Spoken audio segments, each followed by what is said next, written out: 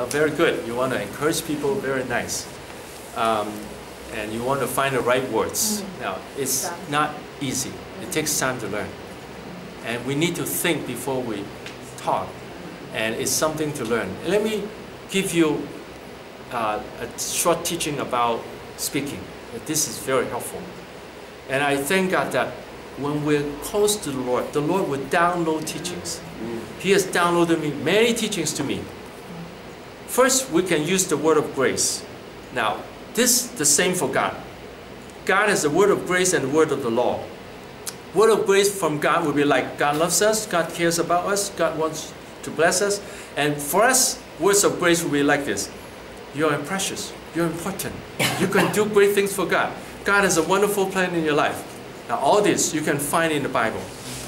And then the law, the law means, you know, what we do. Now, the Bible has many laws too, tell us what to do. Having a law doesn't mean it has to be harsh. The law can be gentle. Let me tell you a few ways the law is spoken. First, explore. How can we solve this problem?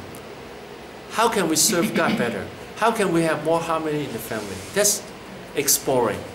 Guiding. When one person knows the answer and trying to guide the other one. Like I guided them to understand the needs and what God has done to guide them. And then request. Can you do this for me? Can you help me? Request. And then command. Do this for me accuse, and then condemnation. Now, sometimes we still need to do those. Like, for instance, if you don't repent, it can bring the punishment of God. Sometimes we have to do that.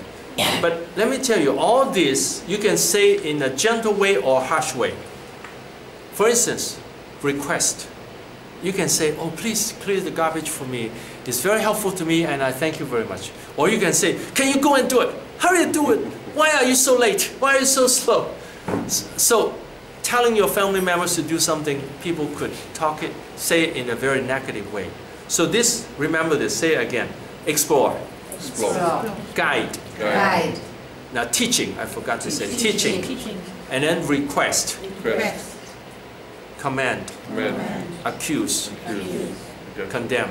Condemn. Now, seldom do we use condemn unless if someone really not repentant. So sometimes we want to guide someone how to solve the problem. We have to guide them.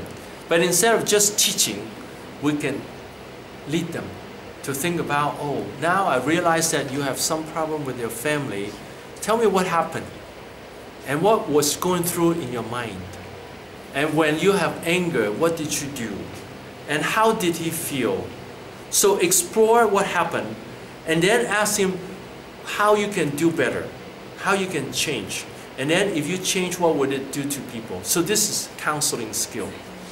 Now, of course you can say words of grace, like, I can see your effort, you're trying, you're doing well, you're improving. You have done this in the past, you can do better in the future.